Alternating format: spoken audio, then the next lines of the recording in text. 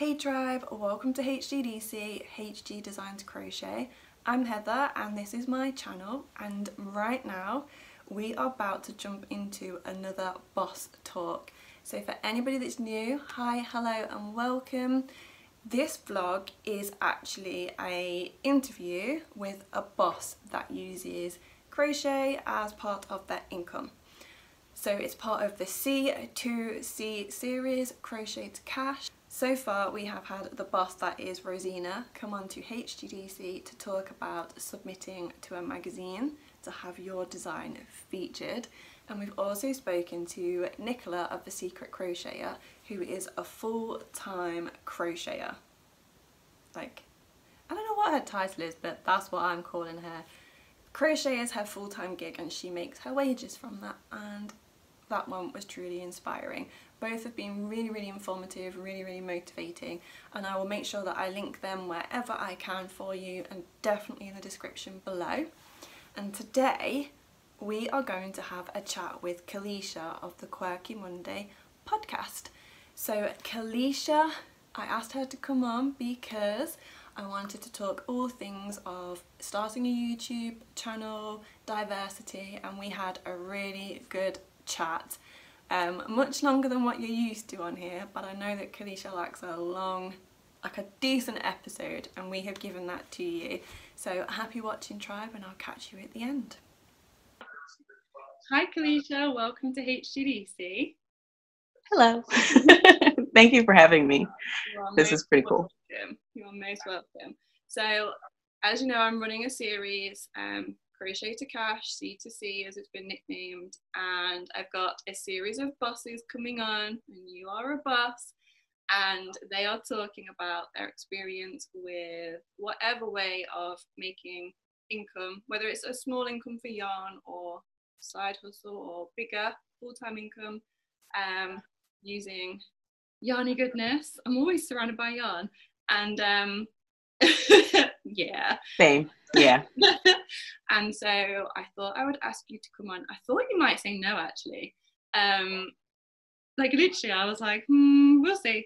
Um, to talk about your YouTube channel and what it's like starting one, and then like I think there's a bit of a misconception of how much we might make from our channels, so we'll definitely like blow the lid on that a little bit. um, so, do you want to introduce yourself and all about your YouTube channel? Sure. So, my name is Caleisha, and you can find me anywhere online as Nadira Tani. Um, and my podcast, or my craftcast as I call it, is Quirky Monday Craftcast. Um, I call it a craftcast because I do a lot of things. So Yep, I do a lot of things, right? And and you will see me kind of going through the different um, crafts or um, art forms that I dabble in. Um, I love learning things, so a lot of times I will be like, "Oh, I'm gonna learn how to do embroidery," and then I just dive headfirst in it because I believe if you watch one YouTube video, you're a professional. That's not true at all, but it's a good way to approach things. So um, yeah, I like doing a lot of things. Uh, my main craft right now or my main maker outlet right now is definitely the yarn so crocheting and knitting um yeah and and i am falling down the plant rabbit hole uh-huh. as you can see i see that is definitely a, a side effect of quarantine. These are my friends now. Yeah. We hang out. but yeah. Um, I guess I can talk a little bit about why I started the podcast. Um, like a lot of people who start podcasts, a lot of times in the first episode, you'll hear people say, like, oh, you know, I've been watching podcasts and it looked like fun, so I decided to jump in. Um, that is also why I started the podcast, but hand in hand with that, wanting to participate was wanting to see myself represented. Um, that's a big thing that I focus on in my making, in the choices that I make as a crafter. Um, I specifically look for other makers of color um, to signal boost them to um, like use their products, to buy their yarn, to buy their patterns, you know, things like that, and try to use my platform like that. Um, I I started watching podcasts a few years ago, and it was it was an experience that I've had quite a lot of going into a certain arena of something that I'm interested in and not seeing anyone that looked like me. Mm-hmm. And so then that automatically made me feel like, well, is this something that like black people don't do, which is kind of frustrating because obviously if I do it, I can't be the only black person doing this. So there have to be other ones out there is the way that I think about things a lot. Um, so I started looking. I started looking for um, other Black people in the fiber sphere. And it has been a trial finding us. So I always want to try to make things a little bit easier for anyone who's coming behind me.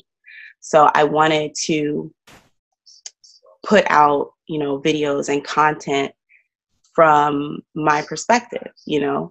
Um, one of the things that definitely stands out for me um, specifically is making hats. And, you know, you'll watch videos and a lot of people are making wool hats and stuff like that. But um, wool, the texture of wool and the makeup of wool is so close to Afro textured hair that they don't really play well together. And not a lot of people know that. So when you see um, designers like uh, Denise Bayron she made the, I forget exactly what it's called, but it's a lined beanie. So it's a knit beanie and then it's lined. That is specifically something that caters to the black maker. Um, so that's kind of the the space that I wanted my podcast to occupy is a space of crafters, but also very attentive to the black crafter. And that's very important to me. Um, and that's really why Quirky Monday exists, to be honest. Um, and I really hope that um, my wanting to be that representation, I really hope that it's being successful. Um, and I have, I've received comments from people who have said things like, watching my podcast has given them a different perspective on yeah. why representation matters and and what it's like um, because they'll see me get super excited over like an enamel pin with a black girl on it. And i'm just like pew! Oh my gosh it's amazing. But when that's not the norm you know when you regularly don't see yourself yeah you know yeah. you know when you regularly don't see yourself out in the world doing the things that you're interested in. When you do see that, it's amazing and it's so uplifting. And I really hope that my space, my channel, my Instagram, like my online presence is able to do that for somebody else.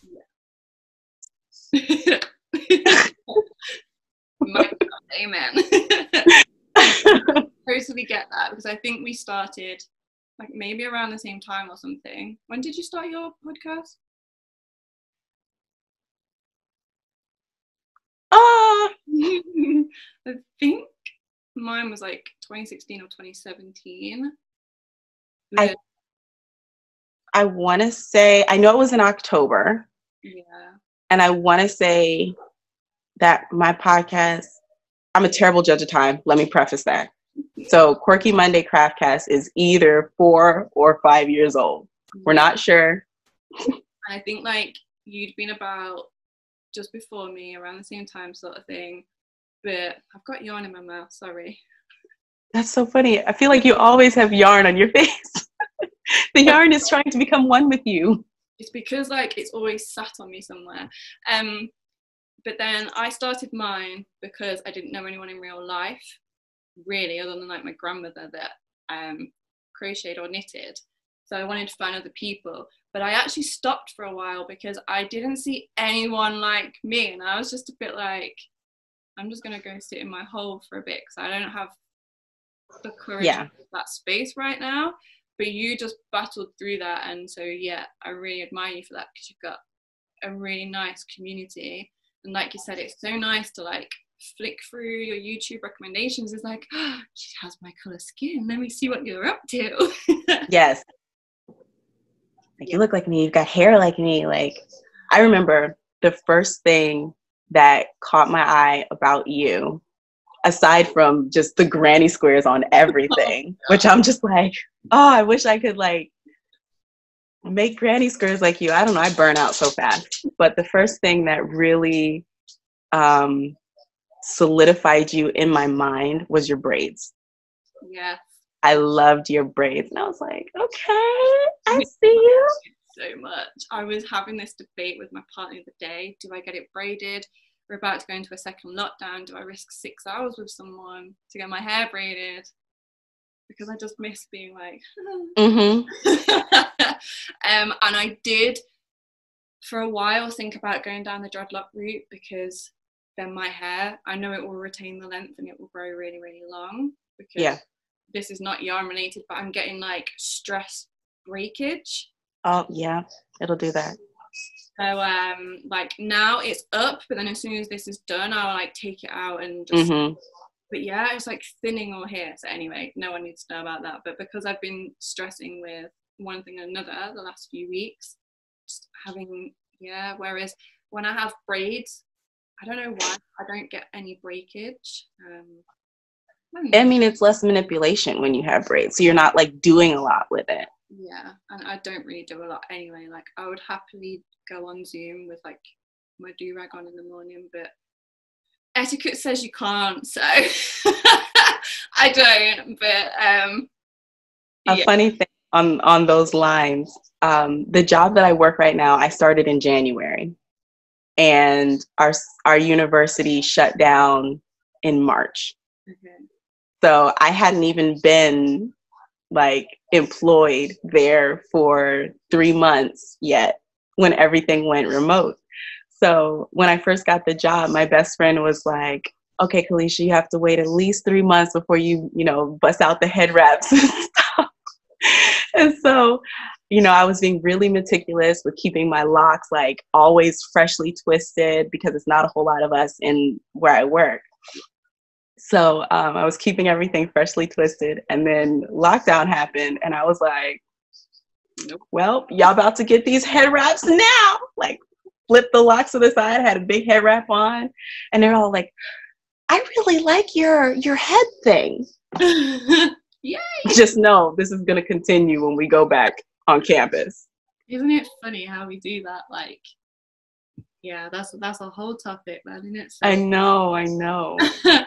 um, yeah, I've done so many different hair colors in braids as well. So when I got with my partner, it was grey, grey braids, Mhm. I liked those. and then after that, you know, I think I went green, maybe red, and then that was it. He's never seen me in braids ever again. So he's like, the girl I got with doesn't look like you anymore.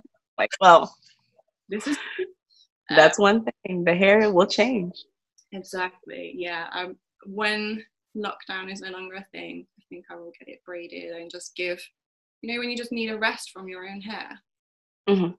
I need a break from my own hair. So, yeah. But anyway, about the podcast after our little side track into hair maintenance. It's such a good aside, though. Like, I don't get to have these conversations. no, I know. Like, so Um, good. there's not many people that I can be like, I'm, I'm having a stress stress break, breakage, and they're like, what's that? And What's I'm that? like, oh, you just don't understand. It's okay. it'll be fine. It will thicken up. Just gentle with myself. But anyway, um, yeah. So we both started our podcast, and I shied away from it a little bit. Um, but you just really leaned in, and there's a few other people that also really leaned in, which is really great. Um, and it's mad. Sometimes I'll get like DMs like, "Hi, I follow you, and I'm just really glad you've got my color skin." And when you grow up not seeing yourself in the media or even in like knitting books, like the magazines in the UK have got loads better, but yeah, I remember the first time there was a girl my colour on the front cover. I did a whole vlog on it, like look, because it just doesn't happen. Um, yeah.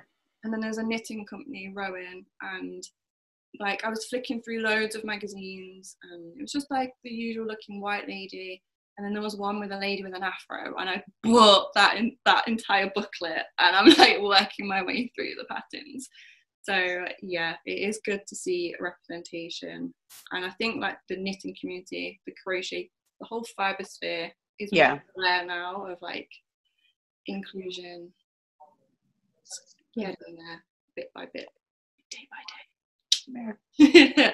um so most people probably don't want to hear about our hair. I bet they do really.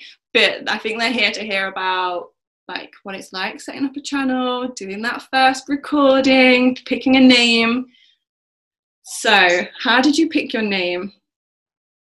Well, so um, Nadira Tani has been my AOL screen name since, you know, AOL chat room days. And it's actually a mix of two African names. Um, the name Nadira means unusual, mm-hmm. and Tani is born on Monday. Mm-hmm. So that is me. I'm the unusual girl who was born on Monday. That's very nice. Um, I like that. Which is also where you get the quirky Monday. Um, so I just kind of try to keep everything. I mean, it's me. I I have always been a little bit weird. So that's me. Did you have you done that Myers Briggs personality? I have. And you are a. I am INFJ. Which is what I am, and we're so rare. we're so rare. You just remind right? me. I think like like ten percent of the population is. Mm-hmm. Is. Like super rare. I uh, we had a um, kind of like a socially distant get together with my church friends, and we all started talking about our Myers Briggs, and everyone started the people who hadn't taken it were taking it. And it turns out that the majority of my church friends are also introverts but i am so introverted that i thought they were all extroverts. Wow. Wow. Yes. Yeah. Like i'm i'm with you in that i'm hugely introverted and people think i'm extroverted because we're so socially caring. And like we we're awkward but they're just used to us being awkward. Um that people don't realize that i'm heavily introverted and like i need mm-hmm. a lot of time by myself to recharge. Yep. otherwise i will yep. not function so just when i see my partner sometimes i'm like you watch a film and i'll go upstairs headphones in just leave me with my yarn or my journal and that's my me time and i need that. Mm-hmm he is also an introvert, so it works fine. He's not like, I need you. But people in my past have just been like, what? You Don't you want to go do stuff? No, definitely not. and although lockdown's hard in that I miss church and like my people and just maybe being like, shall we go to the cinema? Yeah, okay. I really also like that there's no social obligation anymore. Yeah. It's I like, like that. We should just stay home and no one's like, you're staying home again. yeah. I'm following the rules. to the T. Like, don't come near me. I I um I have this thing I don't like I don't like people to like bump into me and stuff. So I always used to say I have a bubble yeah. of like my my arm span. Oh my gosh. And my I have very long arms. So when social, like the social distance thing happened, and they were like six feet, I was, I was like, I've been doing this my whole life. So my dad calls it oh, it. this is delightful. Yeah, my dad calls it my hula hoop because I'm literally like personal space, and he's like, yes, in your hula hoop, you are gonna kick off, and I'm just like, get away from it. Yes, if I can touch you, you are too close. I'm always like, no touchy. As people come to hug me, I'm like, no touchy. Because it just messes with my balance. Like, internally, it just disrupts me. And I can't. You have no idea how much joy I'm having right now. I'm just like, yes, we are the same. like it completely disrupts me and people don't get that. They're like, huh? And I don't even mean like I feel physically unbalanced. I just inside I'm all Yeah, out. it's just it's, it's weird. it's weird. But I think that's because we are quite empathic and people can leave residue of yes. their emotions on us. Yes. That is that is a lot. Yeah. That's that's a whole nother conversation, man. we could have an entire Zoom on the introversion and the empathy thing. Oh my gosh. we could just start an entire series. Hair, inclusion, introversion. oh yes. Oh, my cheeks hurt. Too much smiling and laughing. Mm-hmm. Sorry. it's okay. I'm I'm enjoying this. Um, and then my other question was going to be, when did you learn to crochet and knit? My mom taught me to crochet in the seventh grade, and she taught me how to do the double crochet. She taught me how to chain and double crochet. So I was just going back and forth. I still have my first blanket. It is a special looking thing. and so I was just going back and forth my double crochet.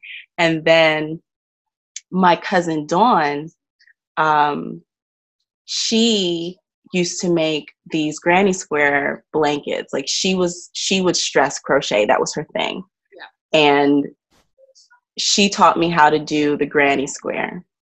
And so my first blanket is back and forth double crochet and then granny squares and then back and forth double crochet and granny squares. And the gauge is all over the place. Oh, but um, so yeah, that's, you know, middle school, seventh grade was uh, when I learned how to crochet. And then I learned how to knit on YouTube probably it was a little bit before I started the podcast. So I'm a, a fairly new knitter. Um, but you know, just like like with most things, I feel like if I can find a video explaining how to do it or something like that or a tutorial, I'm pretty confident that I can yeah, figure it out, figure it out or learn it or something like that. But yeah, I've only been knitting for like four to five years. Pretty much the same as me. I think I learned to crochet a bit later than you, and then randomly, like I could knit, but I never was really into it. And then um, my grandma like showed me the basics, but she was really like militant in teaching me. So if there was a mistake, she'd rip it out. So I never showed her my knitting, mm. just mm-hmm. all your work. Um, and I wanted to learn socks, and she was like, "You can't learn socks because you've not even done a scarf." And I was like, "Excuse me, what?" So I taught myself on YouTube. I made some socks, and then everything I've knit since then has just been like, I don't think I've finished anything. I start, I dabble in stuff, and then they get left because crochet is my love and I'm faster at it. Mm-hmm. and I think you're the same, like crochet is your love, but you will knit. I describe crochet as my first yarn language. Yeah. Um, so whenever I go to design something or I want to, I want to, you know, design a pattern, I automatically go to crochet first. Yeah um, because that's just you know how I relate to the yarn. Um, but knitting has become my like mindless activity because I can knit and not look, but I can't crochet and not look. Ah. Um, the only the I can only granny stitch and not look because the spaces are there and I know the you know the the the motion of the stitches. But if I'm doing straight like double crochet, those stitches all over the place. but um but yeah, so whenever I am you know like watching TV or in a meeting or something like that, it's round and round like sock knitting is my happy place with that. But I am I don't think I currently have a crochet project going. You can have some of mine and finish them. you know what? I don't. You need to stop. I need to fix that. Yeah. Clearly, I will be starting new things today. I find knitting really meditative. Like, yeah, something on my mind really worrying me. because if it's just a simple stitch, because it takes me so long, I've got plenty of time. Whereas crochet, I whip through it really fast. So mm-hmm. make a granny square for the sake of it. I don't need granny squares. Have you seen how many are like lying around me at the moment? You don't um, so yeah. Um, and then the other, my other question. See, I had these all planned and it was going to just flow, and now I'm like, hmm, let me think. my other question was recording your your first vlog. Oh yes. Like, was that intense or? That was. I think back on it and I'm just like, oh man. That's me. That was awkward. Don't look at it. oh, like anyone who is watching this right now, if you have not seen any of my videos, I encourage you not to go back to that first one. You know they're gonna go viral now because everyone's gonna be like, let's go watch that first. I know they're gonna be. It's gonna be like, but I mean, it was it was nerve it was nerve wracking in the sense that the internet is so big yeah. and so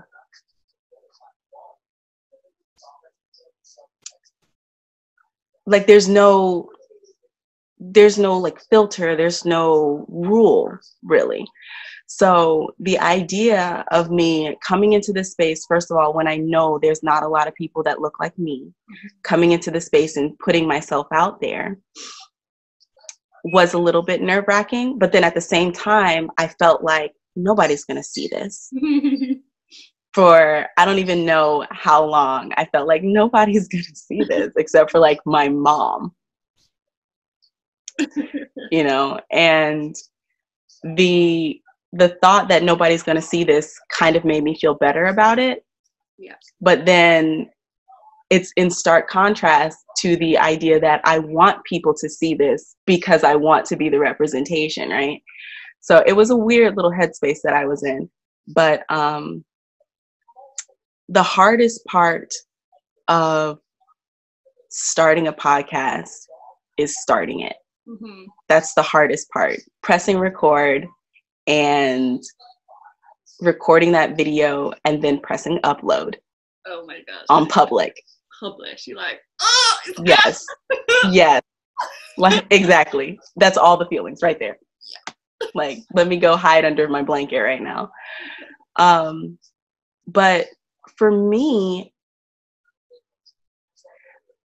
I feel like anyone who has experienced online Caleisha would not believe that I am as introverted as I am. Yeah. Because for some reason in this specific space, I'm very comfortable. Um, maybe I think I started getting more comfortable in podcasting when I realized that there were like a couple people who were regular watchers. Yep. And so like they would comment or something like that and i would see the same name. So then i started feeling like okay i'm making this video and this person. I'm talking to this person you know? It wasn't so vast.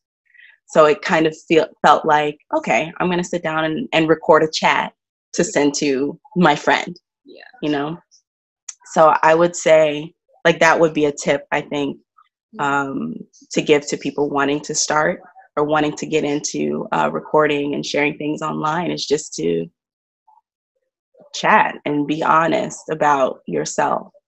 Um, that's actually a comment that I get quite a bit is people talk about my my openness or my honesty about Caleisha. You know, um, outside of yarny things, I do talk about mental health. I talk about my experiences with that and I try to be transparent with things. Um, I know a lot of people will, like, if they're having a not so good day, they won't record or they don't talk about when they're having a not so good day. But for me, I feel like the good days are obviously really important, but the not so good days are also really important because it gives you perspective. Yeah. And um, I try within myself when I do have those downswings to always remind myself that this moment isn't your life. Yeah. Like this moment is a moment and it will pass. And that same thing goes for when you're feeling good. You know, this great moment isn't your life. This moment is a moment and it will pass. So either way, you have to either relish that good moment and like suck the marrow out of it and you have to acknowledge that that bad moment and let it be what it's going to be and keep moving you know and you're really good at that whereas i find for me i'm so i don't know if you are i'm really all or nothing so i either share everything or i share nothing and because sometimes when i'm in those downswings I can't share because it might be related to family and it's not for me to give those details mm-hmm. or my day job that I just don't share it. Like I recorded a vlog last weekend and I did a whole thing and then it got to like I literally leaned forward was like I can't do this and I cut the whole lot out and I didn't put any of it up. there there's of course times like that when I'm just like nope. Nah. no. Nah. It's really like, important to share though because yeah.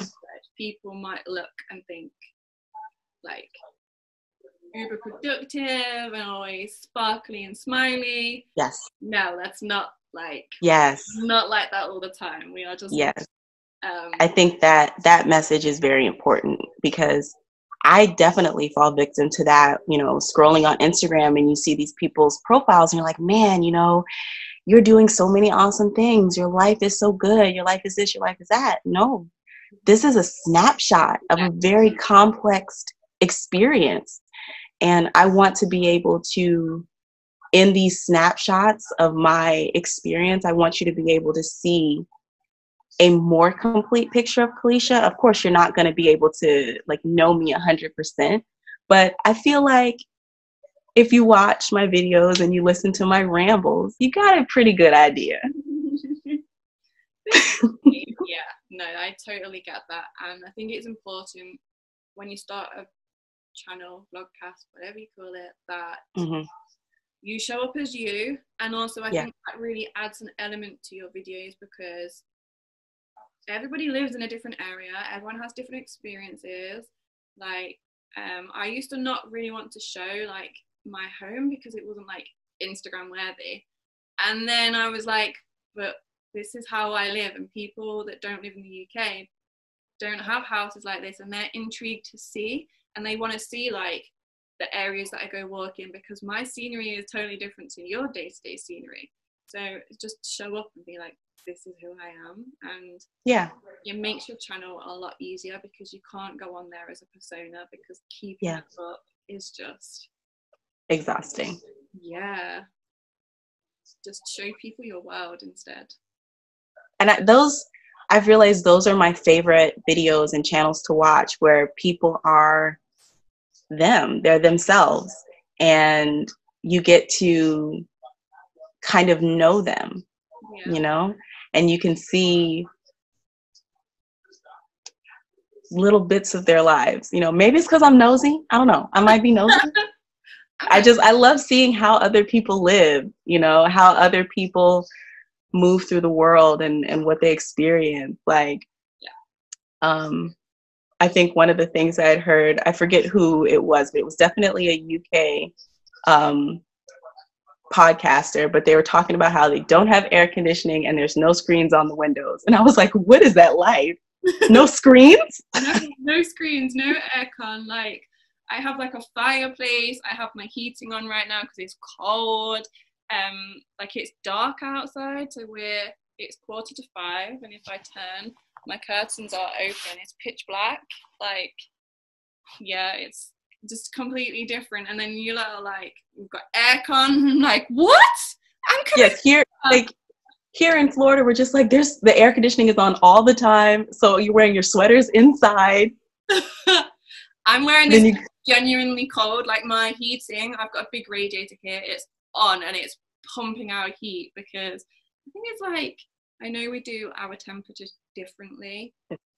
It's it says it's 12 degrees Celsius, and that's relatively quite mild. I'll have to work out what that is in the other one, but it was like frosty this morning. There was frost on the ground. so different. I will take I footage and put in my vlogs just to show you like the, the fields in the morning when the frost comes out. The green oh. frost all over it. It's beautiful. I'll I'll take some footage. Please. But then you need to show me the sunshine because I'm getting withdrawals and I feel like I'm going. Look, I will. I will. Like, I was trying to figure out. I'm going to do Vlogmas this year, okay. and I was trying to figure out because you know it's 2020 and all bets are off. That's what I'm saying. All rules are gone. Yeah. Anything goes. I'm like Vlogmas should start halfway through November. Yeah. I think I'm okay with that. so I will definitely be getting footage of outside. Like I would show you out the window, but it's just blown out. I can it's just just bright. Yeah. Whereas the sun went down at like half four here because we're well into winter now. yeah. But I miss season. we can swap for a bit. And also there's a lot of fireworks at the moment because it's bonfire night. I don't think you do bonfire night.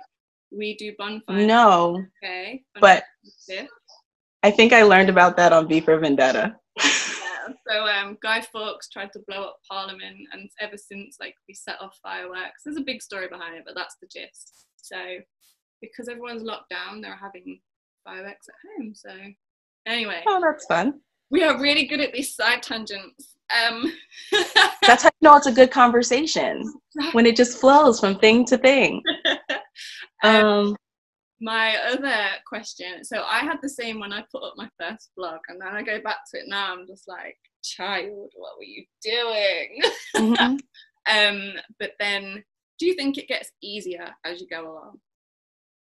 I think so.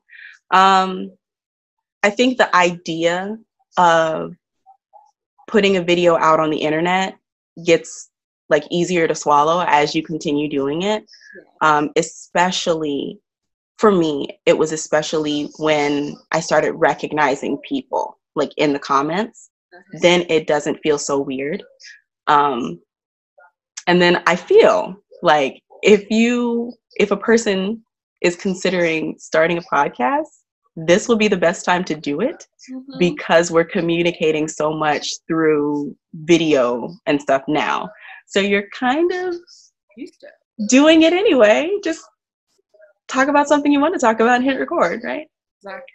But um, I think that for me, the most difficult thing is consistency, mm-hmm. especially recently. I've been having a very difficult time with consistently uploading and recording, well, consistently recording and then uploading, um, just because trying to balance, you know, everything between work and then getting off work and then s- still being in the same space like from this table is where i'm working. And then this is also where i write and you know everything is right here. So figuring out that balance that work life balance has been kind of difficult. But before pre-covid um, I would have a specific day where I would I would record my podcast and then I would give myself a day to edit and then I would set it to upload. You know, I had a routine.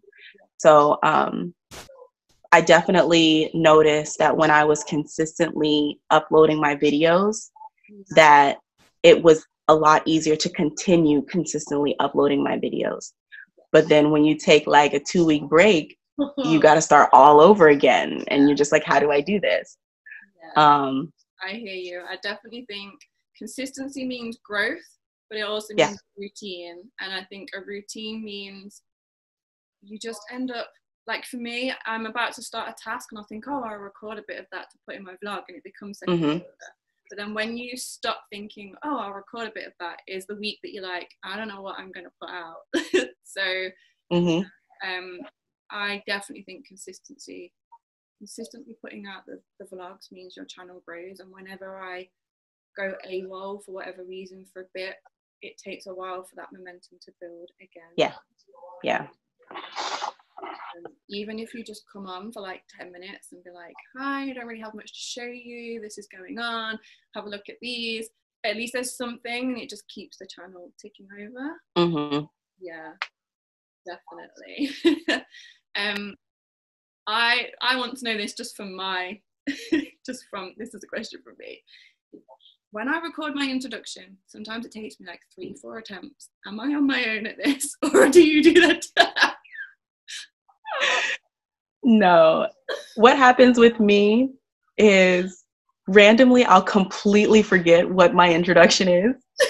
And I'm just like, what do I say? What is this?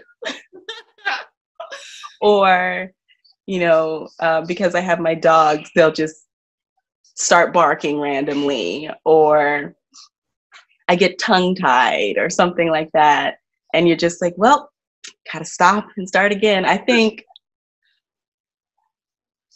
I regularly re-record the beginning of my podcast probably three times at at the at at the least this is me every time and i'm like come on you could do this and i'm like hey uh, welcome to HGDC, blah, blah, blah, blah. And then I'll do something, I'll be like, why did you do that? And then I'll have to start so, and then you have to think, can I edit that out?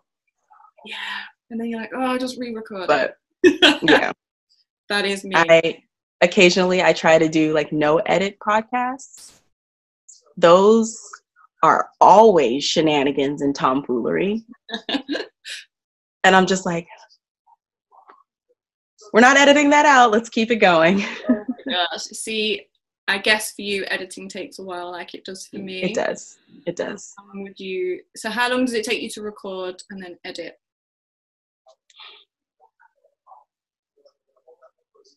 I normally, like on average, my podcasts are an hour and a few minutes, probably at the most an hour and 15, hour and 20 minutes okay. um, of, of content. And I try to cut it down to an hour. Yeah. Um, because I'm a person who likes watching long podcasts. Okay. So there's that. Um, so if I have say an hour and 15 minutes of raw content, I will probably be editing it for, if I sat down and was diligent, at least two and a half hours. Yes, and this is the- at, at the very least. And it's probably longer than that because you got to cut out well you don't have to but sometimes i say um a lot or, or i'll just be like um you got to cut that out and then adding in the text if i have pictures that i want to put in putting those in um, adding the um, the title card at the beginning mm-hmm. yeah i'm with you it's a lot of like little things in the editing yeah. Um, even when I say, oh, I'm not going to do a lot of editing on this podcast, it'll be, I try to do like a rough edit. That's still like an hour of, of work. Yeah. So it's definitely something. I mean, and you don't have to to edit. There's plenty podcasters that I watch who don't edit. I admire them, but I am so um I'm not a perfectionist, but I do hold myself to a higher standard than I guess I hold other people. So I'm just like, no, Caleisha, you need to you need to work on these things. yeah. And sometimes I just have to be like, okay, we're not gonna we're not gonna edit out every um, we're not gonna edit out every like. Yeah, I'm with you on that. I think that's something I really wanted to draw people's attention to because sometimes people think I'll set up a YouTube channel and it's a quick way to money. And like, first of all, we put a lot of time into our channels. So when somebody's mm-hmm. mad and they're like, why didn't you put out a video? It could just be that you've recorded an hour's worth of footage and then when you're editing it crashes and you lose it like has that happened to you because that's that's destroying when that happens i think that happened to me but i've also recorded an entire video and then as i'm editing it just be like I don't like this at all. Yeah. And so I'm not going to immediately go back and re-record because I just talked about this for an hour. Yeah. So catch me next week. exactly. we could put in not only is the, the time of recording, but we make whatever we we talk about. Yes. So there's that Mhm. time. So I might have crocheted for four or five hours that week or more to show you. Um, so then an hour recording, and then two hours editing, and then an hour for it to export. You don't need to do much, just check on it, and then upload it. And like, that's a lot of your. Hopefully, it exports and uploads because there have been times when I have let this just sit there, like, okay, you're uploading, we're good. And then I come back and it's like it failed. yeah. You had one job. yeah. And then you're like, oh, why didn't I check this two hours ago? Because now it's yeah. Now up. you got to do it all over again. Yeah. And then, so it is quite time intensive, and we do it because we do enjoy it and we like to Yeah. share and we want to show up in this space. Yeah. But YouTube just doesn't automatically sprinkle money on you for doing something. Like, you have to hit the eligibility. And I've said before, like, um, a thousand subscribers, and then is it like something amount of watch hours? I can't even remember now. I've hit it, but Don't even ask me. it was quite a lot. But when you started your channel, that wasn't in place, was it? That came No. late, yeah. Yeah, it came afterwards because I remember they had this, there was this huge push in the fiber community for people to go watch other people's videos so that they could make their eligibility. But I never, I never, I didn't start this with the goal of making money off of it. Yeah. Um, I don't have ads or anything on my YouTube channel, so I don't make money directly from YouTube. yeah. The only the only way that YouTube makes me money is the fact that I can direct people to my Etsy shop or um, to buy my patterns or something like that. That's the only way that YouTube is making me money is I guess the visibility. Um, but I I've thought about putting ads on my videos, but ads and commercials irritate me. yeah. So I have to really like grit my teeth when I'm watching someone's video and an ad comes up and I'm just like, See, I get, I totally get that. And I at first wasn't going to put ads on my channel. And then I read a book, and I'll have to think which book it was, but it was like all around you, there are like you have to pay for like your TV channels here in the UK. And Mhm. you pay for everything in your life. And you're putting out free content for someone, and if they watch an ad for three seconds and skip it, you're going to be re like compensated for the time that you've put in. So when they put it like that i was like okay but i get it when you know when you watch someone it's a clickbait video and every five minutes there's an ad. I'm not going to watch that but if like you were to put in a couple within like your hour i would just be like fair game i might even watch it for the full 30 seconds so you get the full amount of money i'd be like okay i'll let you have that um like, it is the potty break. I'll be back. but um yeah i know there is a bit of a, a different thought on the ads but i if you put them in i wouldn't be like i'm not watching i'd still be like i'm here um Yeah. but now anyone that starts their channel now they have to hit those requirements um, yeah. and some some channels seem to blow up overnight and other channels like mine like you have to be diligently putting videos out to attract Yeah. people and i don't really think there's like a way of guessing which one you're going to be you just put your videos out and see I think mine, the growth on my channel was definitely was specifically because um, Gigi made it mentioned me.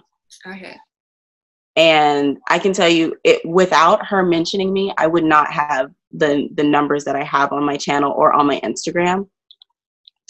Um, I wouldn't have them right now. I believe that eventually, you know, they would come yeah um, but she she mentioned me on Instagram because of a video that I did on Instagram where I had written a piece and it was called I am here, I think.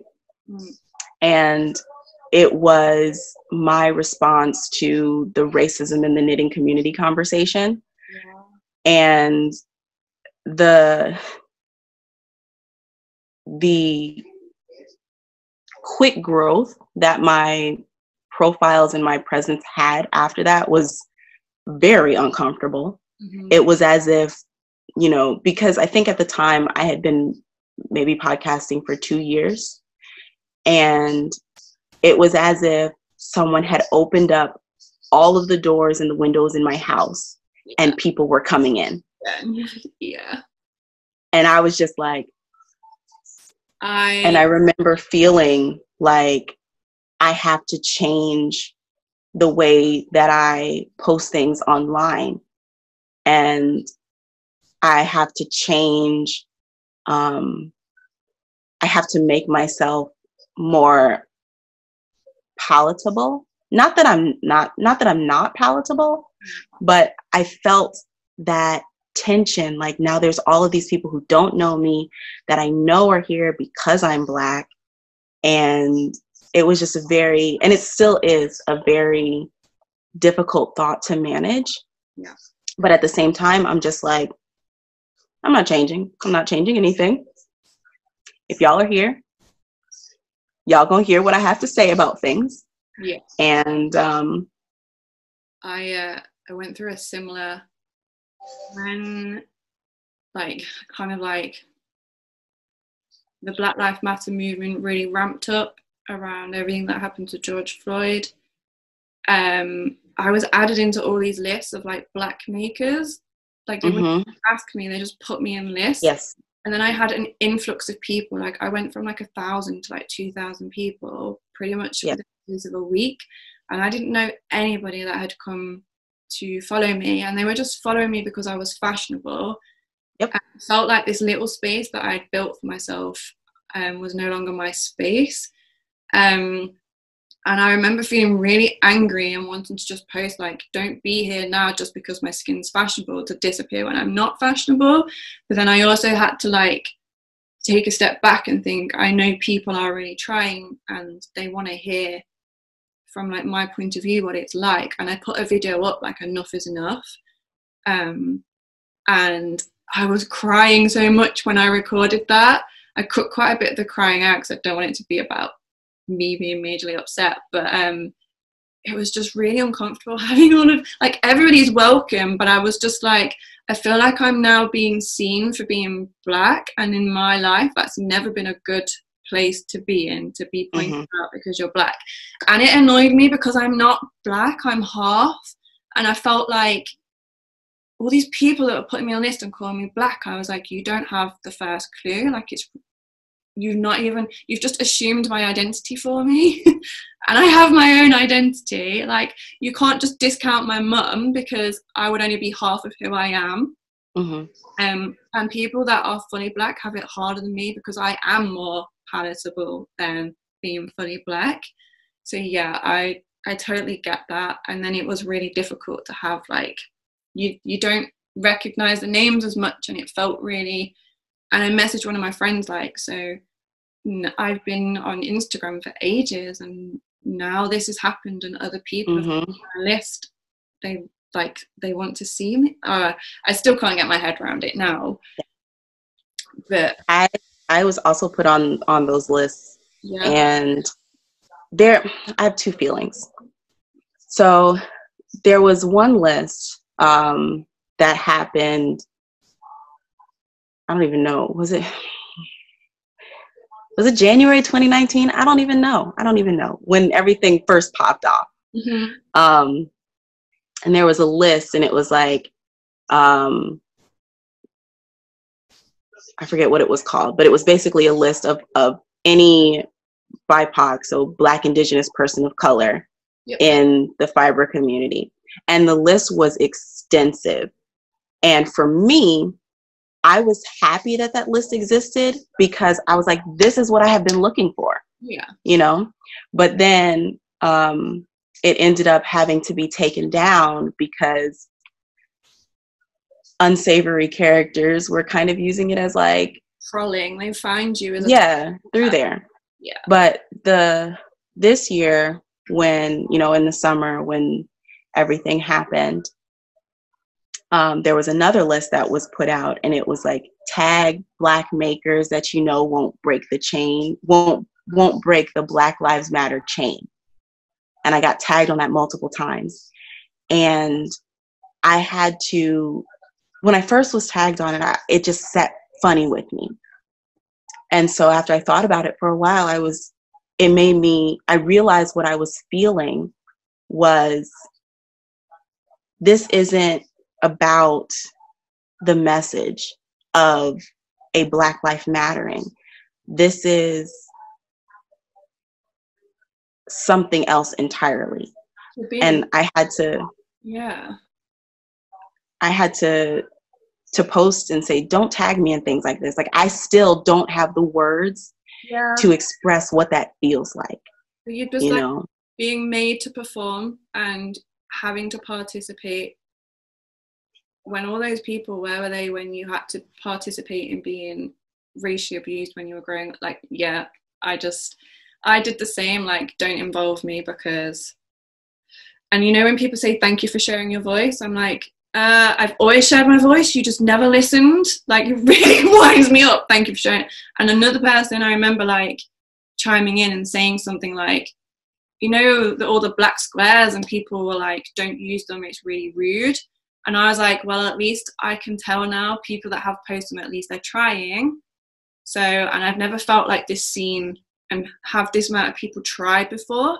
And then somebody like attacked me, like, no, it's really bad. Black people said we shouldn't be doing it. And then they looked at my profile picture and were like, oh, I didn't realize that you were black. And I'm like, I'm half black. And welcome to the multiple layers of racism that exist out there. Because at a glance from a distance, you assumed I was white.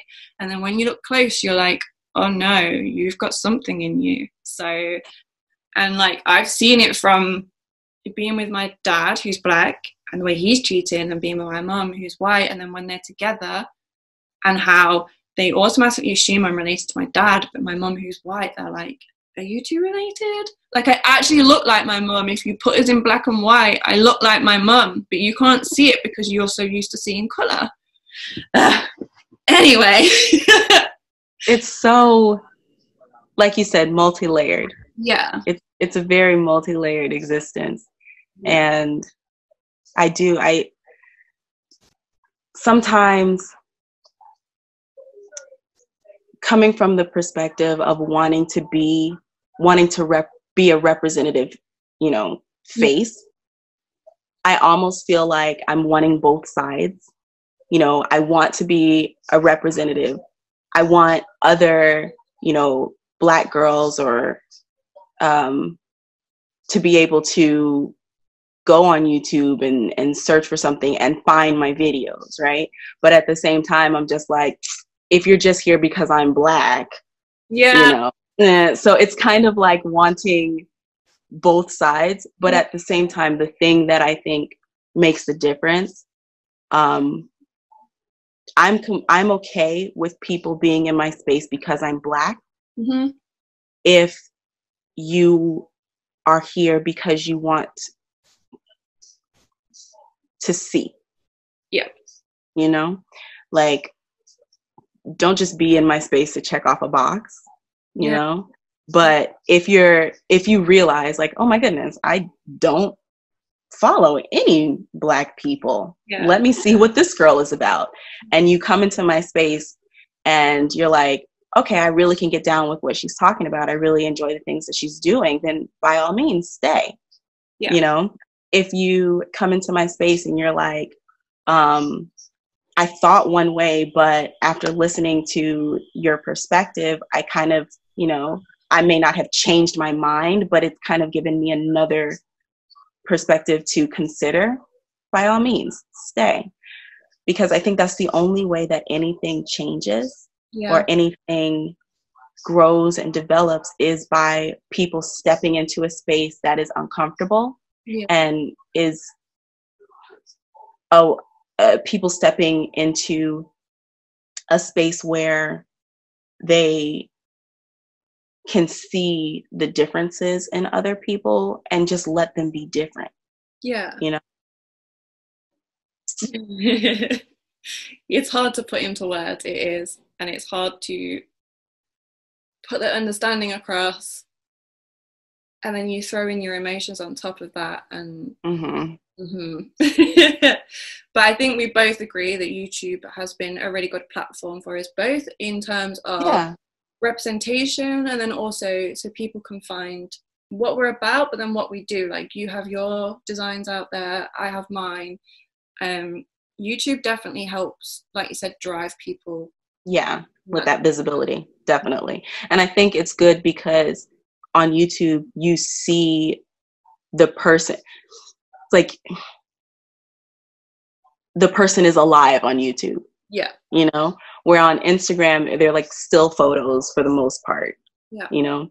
Um, or if you have blogs, it's your written words or it's your pictures on the blog, you know, pictures of, of you and your patterns, things like that.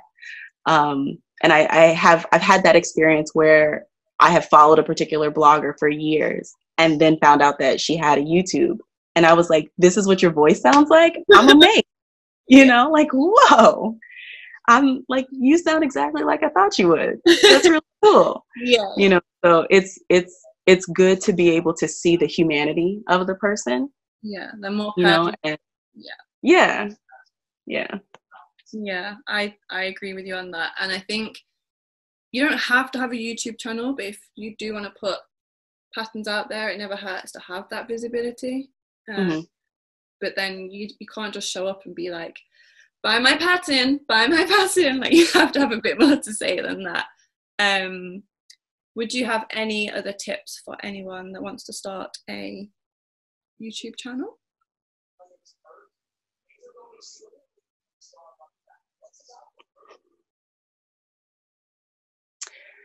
I think I would say whenever you start something online, there's always going to be trolls.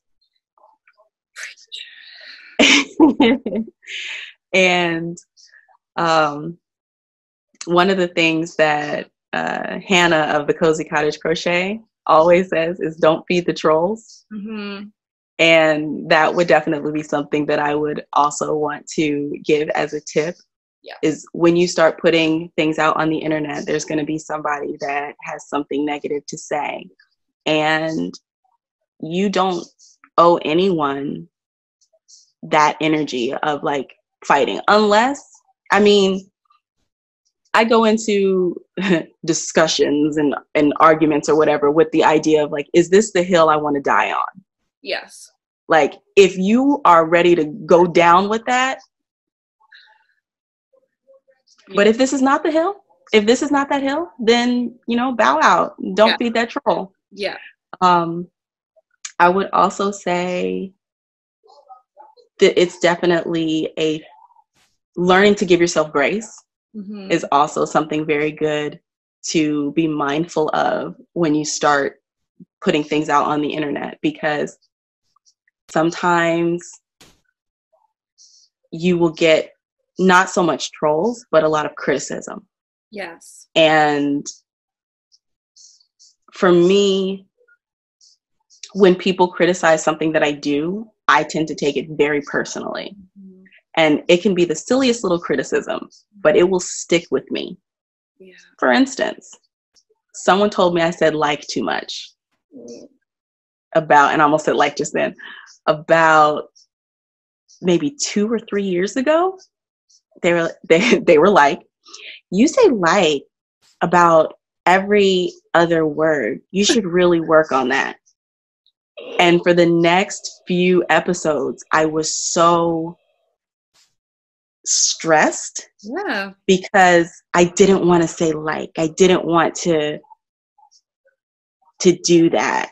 And then I got to the point where I said, if I'm thinking so hard about not saying like because someone said I say like too much, I'm not going to say something that I wanted to say. no, you're not. It's one of So I say like a lot. exactly, and I say so. Like every sentence has got so, so, so, and that's just if you want to hear it, then I guess you can go and watch somebody else because we're humans and what what can be said to you That's my filler word. there we go. And it can leave a dent in you when somebody says things, Yeah. things like that. And but what i try and do is focus on the hundred likes thumbs up and the hundred nice comments. And i ignore the two random thumbs down and the person that says i can't hear you or something or you're this you're that. And i usually just delete them and like i won't even respond. I would just block them from my channel because i just think well you can go watch somebody else then I don't I haven't had too many like super aggressive comments like that. There have been some. Um, one of the difficult things for me is when someone doesn't agree with like a purchase I've made or a choice that I've made. yeah That is that has been the most difficult thing for me is when people come into the comments to try to change your mind on something. Yeah. And i'm not i'm not a let me change this other person's mind about whatever. Hmm um i can have my own opinions about what someone else is doing but they're just that they're my opinions. If you think that what you're doing is what you want to do and it's not hurting me. It's not having a negative impact on communities of people. Yeah.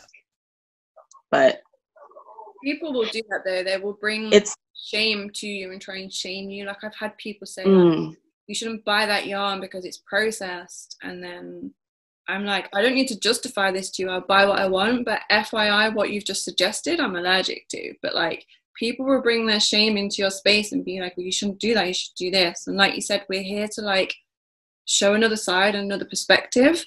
And then you do you boo and now do me. That's the the yarn usage and and yarn conversation is you do not need to buy Something. expensive yarn to be able to hold space in this environment, this little universe that we're in. And anyone that says to you, like, don't buy acrylic, okay, you, here's my PayPal down below, go put some money in there, and then I'll buy that expensive yarn because you don't know my living circumstances and you don't know. You don't know how much debt I might be in. You don't know um, what I might maybe I just don't want to spend a whole lot of money on yarn. Like maybe that's not what I'm about today. Yeah, because my I have other financial priorities and that's not for you to comment on. And if you do prefer something that's considered more luxurious then I'm really pleased for you. Yeah. but that doesn't take away from what anybody else makes just because it's in what somebody else might deem an inferior yarn. Like let's not shame each other. Let's just be like you use what you want. To use I use predominantly acrylic yarn. And for a while I was like oh I'm really gonna have to get rid of all this acrylic yarn is always going to be my thing and like i'm hoping that companies will find ways to reduce the impact on the environment absolutely. Hmm but you're not going to get me using yarns that like impact my health or are not in my price range so Yeah. um yeah that's a we could do like i think we're going to end up having a series like yarn and pricing and inclusivity and hair and personality types what else did we go and see? like we could have a whole series Heather and Caleisha chit chat. yes Like this week. i didn't But- ask what you're wearing you're wearing something crocheted Oh, I am. I specifically wore something crocheted. what are you wearing This is a sweater that I made out of Lion Brand Mandala. Ooh. And I don't remember how old it is. It's at least a couple years old. And this was my first crocheted pullover. And um, I kind of just like started it and I said, I'm going to do this. Didn't watch any videos, nothing. Drew like a doodle of like, okay, I will have to have increases here and blah, blah, blah. And I was just going. And I ended up having to buy, I think, three or four balls of yarn because I wanted the sleeves to match. Um, so you could cut the color out yes, I had to. There was a little snipping and everything, but I really, I really like this. And I have um I have a couple other crochet like cardigans and things. I made this one green cardigan a while ago. I need to bring it back out. But I decided that I wanted to do two color crochet cables. Mm. And in my head, I said, okay, I had done a single color crochet cable before. And I was like, well, I just changed the color of the yarn, right? It shouldn't be that hard. It was a little bit difficult, but I I managed to get through it. Um, but yeah, there's no pattern for this. You just had fun making it. But you've got I did. you've got patterns available. I do. I have um two shawls. No, that is a lie. I have four shawls. I'm gonna need myself to know what what patterns I have available. yeah. Um, I have the Just Feel Better shawl and Just Feel Festive. Yep. Um, those are free free downloads, and then I have the Gemini shawl yes. um, and the Puppy Love shawl. Those are my paid shawl patterns. Those are all crocheted. Um, and then I have a crochet hat pattern, which is called Orion. And one thing you will learn is that I am in love with space. So most of my designs have to do with some sort of spacey something. Yeah. Um, and they're either about space or a story that I wanted to tell. Yeah. And uh, then I have a a sock pattern, um, a knit sock pattern. Um, all of my patterns are available in my Etsy shop and on Ravelry. Um, and right now, I do have a coupon code going. Ooh, it's what is it? no. Save save save ten. save ten. hmm Um, and that will give you 10% off any of my paid patterns on Etsy or Ravelry. So if Ravelry is not accessible for you, Yeah. Etsy is there. And what's your And then, on both of those? I'm sorry, What's your username on both of those? Would have to know that. Um, on Ravelry, I am Nadira Tani. Oh. And on Etsy, my shop is Quirky Monday Crafts. Okay. I will. So I try to keep everything consistent. Yeah. And I can, um, I'll send you a message with like all of the contact stuff. I'll put it on the screen. But yeah. Ooh, I'm currently working on bags for my Etsy shop. Ooh. There have not been bags in my Etsy shop in a very long time because you know that like I was saying earlier the the work life balance has been just crazy. But I have cut all of the fabric for Christmas bags. Ooh, yeah, Grinch. I actually did not cut any Grinch fabric, right? Who am I? But that's only because all the Grinch fabric that I have, I want to make a quilt. And I'm like, if I cut into it, I may not have enough for myself. you need to make a quilt and see what's left. I know, I need to cut the quilt pieces and then. But yeah, so now I just have to get sewing on those. I cut, I have this thing where I cut way more fabric pieces than I am able to do. I and then I get overwhelmed and I'm like, why did I cut so many? I don't want to do it. A failure. I do this to myself as well. Oh my gosh, my cheeks are aching.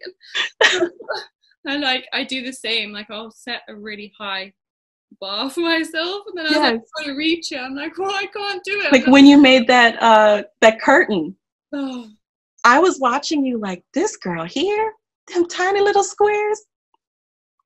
I will pray for you. But you finished it and I was I was very impressed.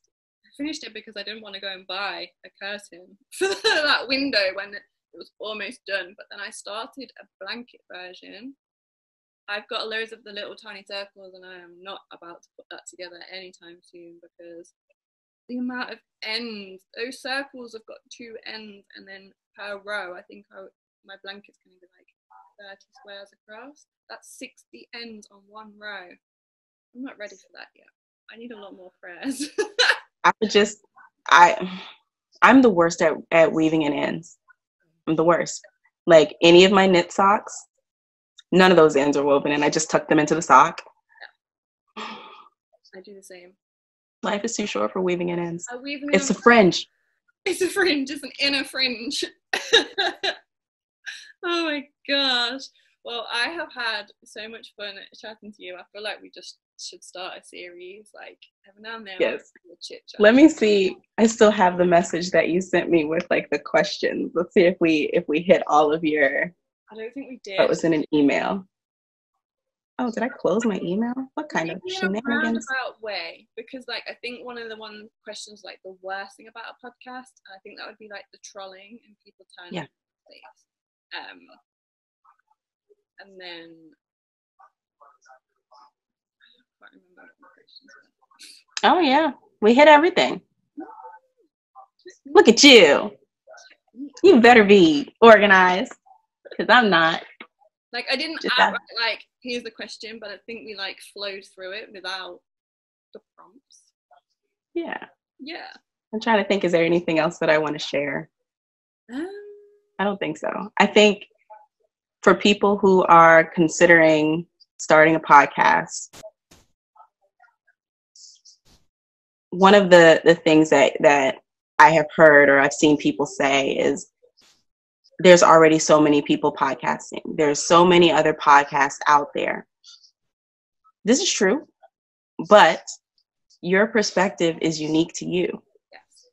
And the the beautiful thing about being a person is that there's always going to be somebody who can identify with something that you're sharing and and identify with you in in a way that makes what you're saying important you know and even if there wasn't anybody somehow to identify with what you're saying it's still very important because it is what you're saying Yeah. Exactly. you know i don't think there's i don't think it's oversaturated. Everybody's at home and they want stuff to keep them company.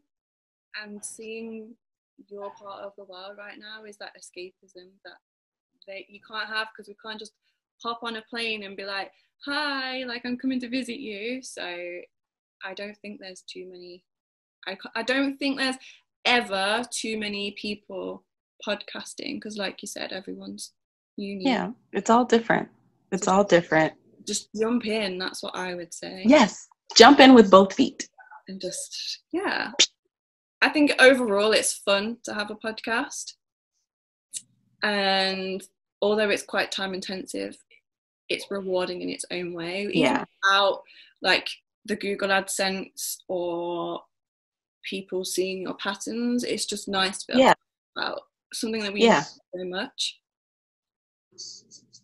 and earlier you said that um, one of the reasons that you started was because you don't have like fibery people around you. And i think that's that's true for a lot of people. You know we typically don't have like other knitters and crocheters living next door you know or that we interact with.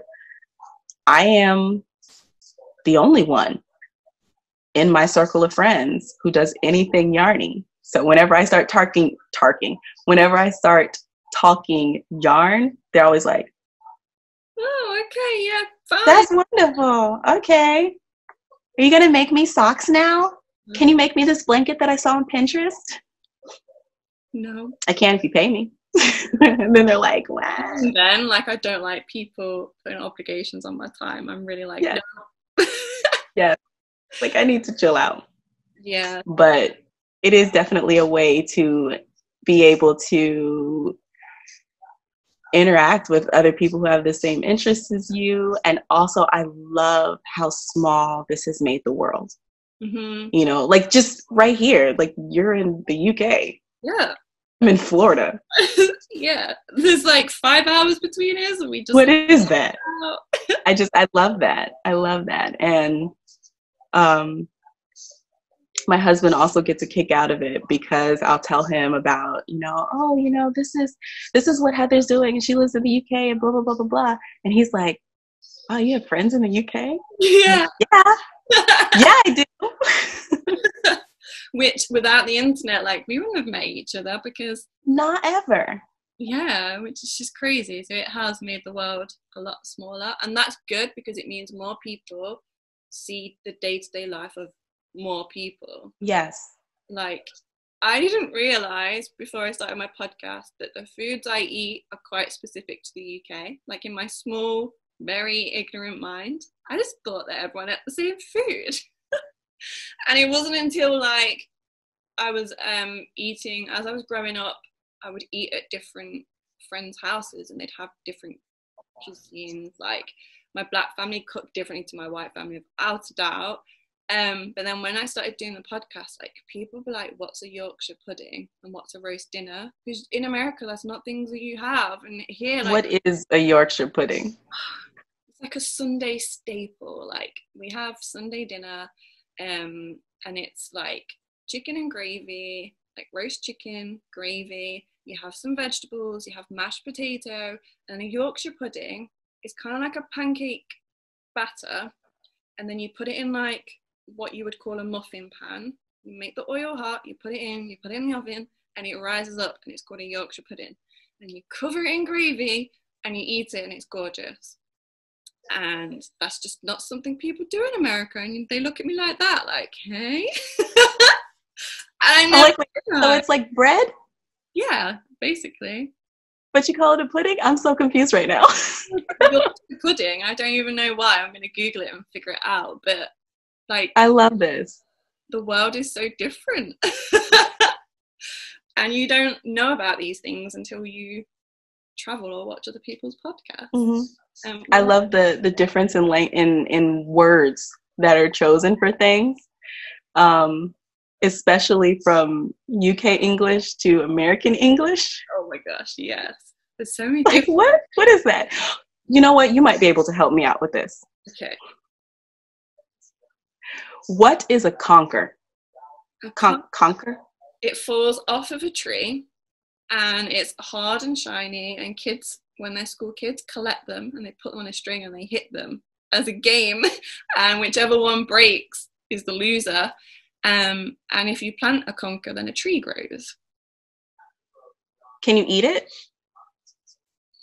I don't think so. I don't think people eat them. Like we collect them as school kids, or they just fall off of the tree in autumn, in fall, and so it's kind of like, kind of like an acorn, but not. Yeah, kind of. Huh. They're like brown, hard, and shiny. So when I go for a walk, I'll see if I can find any because they fell off the trees not long ago. And when I do my Yorkshire puddings, I'm going to take some vlog footage. and then I'm like, this is all for you. Yeah. like, yes. I think it's just because we have that type of tree that they fall off. There's mm-hmm. one not far up from me, so I'll go over in the morning. It's like two seconds from my front door, and I'll see it. Oh goodness!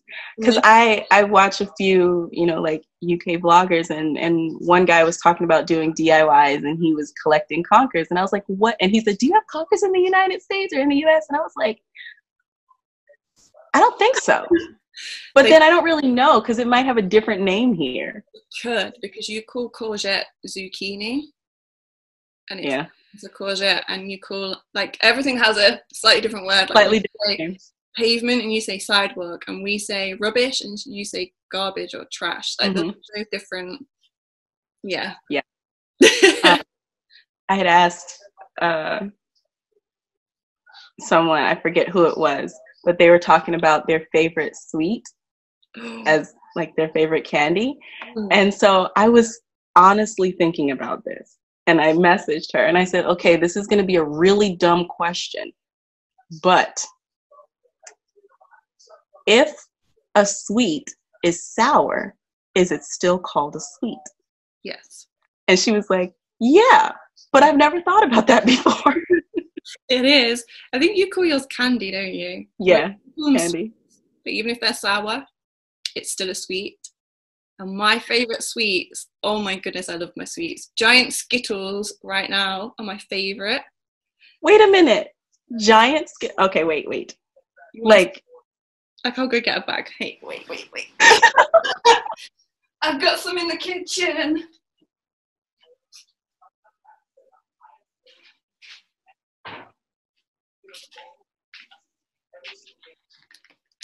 I'm addicted. Giant. oh my gosh, they're giant. What is this? And like they are big. I'm so jealous right now. I love Skittles, and I would love them to be big. They're really weighty. Like, ah. um, I've stocked up on them because because we order our food online and we do click and collect. You can only have like Mhm. a limit of the amount of stuff that you order. So I order them every time, even if I don't need Mhm. them. so I've got Yeah. um, and then I really like squashies, but I don't have any of them to show you. Um, I don't know what a squashy is. I'll have to take a video of them because I don't have them. But it's like you know the drumstick lolly. Nope. Um, what? No. No.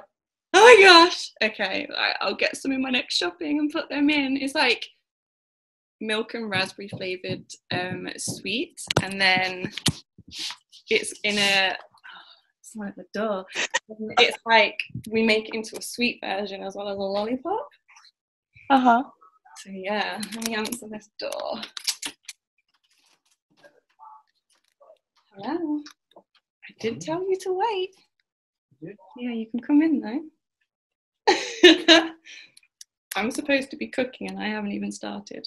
Oh, well, don't let me hold you. I'm No. just enjoying all of this UK sweet talk. This is so cool. Love my sweets. What about um Turkish delight? I've heard of it, but I've never had it. Okay. My partner Brad's just walked in. He hates it. And he was like, "Ugh," as soon as I delight. Um, I feel like you guys have like the best candy, like the best sweets. But your bags are bigger than what we get. Oh, So, they should probably be smaller. We don't need so. Let's see. I don't know if I have a favorite candy. you must. I like chocolate, Um, but I have Biscuits. and um I've I what did he say? biscuits and chocolate. Biscuits. Gonna get him started. What about? So his favorite is white chocolate, and I'm gonna say malted milk biscuits or Jammie Dodgers chocolate. Top there. at the top, custard creams. Yeah, we'll set there. What's your favorite? He's thinking. Ooh, yeah, that's- I think that okay. The fat okay. So a biscuit a biscuit is a cookie. Okay? No. Well, to me, I think a biscuit's a cookie. It's like a sweet little crumbly thing you eat, yeah? Okay. Okay, so a, a biscuit is a cookie. Yeah. So, what do you call like um hmm, this is so stupid. like bread that you eat with breakfast that's not toast. A croissant or a bagel or a cob, Maybe it, what's a cob? What does it look like? like a flatbread roll that we slice in half, is called. If you're from like one part of the UK, it's a bap, and if you're further down, it's a cob. I think maybe that's what a biscuit is over here. No, it's wrong. Like a biscuit is a biscuit, and a cookie is a cookie, and then bread is bread. breakfast biscuit. We actually have bre- breakfast biscuits, but it's like um, they're just packed full of energy to keep you going through the morning. Oh, I, I can't. Hold on. Yeah, Okay, after I do this, then you know you're free to go. Oh my gosh. I love this conversation so much. I love this even more than like the Yarny conversation. okay.